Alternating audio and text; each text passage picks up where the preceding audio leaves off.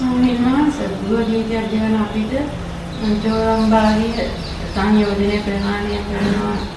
ඕරම් භාගී සංයෝජන දාන ප්‍රවාහණය වෙන ප්‍රහාණය කරන මොකද අනාගාමී තැනකදී තේරුණාද? සක්කාය දිට්ඨි විචිකිච්ඡා සීලබ්බත පරාමාසයන් තමයි ප්‍රහාණය කරගන්නවා. තේරුණාද?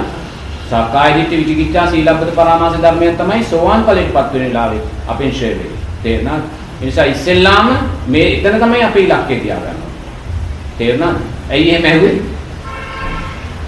ඈ? එහෙම ප්‍රහාණය කරපුවාම බබලව ඉපදෙනවා කියන බඹලෝ ඉපදෙන්නේ මෙහෙමයි පුතේ. ඒ අනාගාමී බ්‍රහ්මයා බඹලෝ ඉපදෙනවා.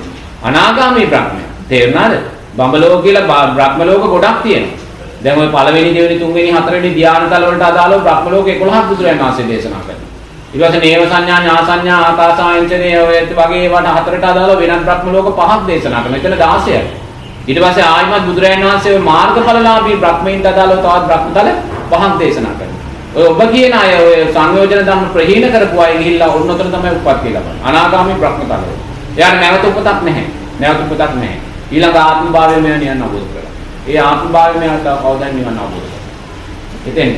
නමුත් හැම බ්‍රහ්ම ලෝකෙම නෑ රූපාවචර අරූපාවචර බ්‍රහ්ම ලෝක තියෙන. ඒ බැරි බ්‍රහ්මය ආන පල්ලෙහාට වැටෙනවා. සතර පායට වැටෙනවා.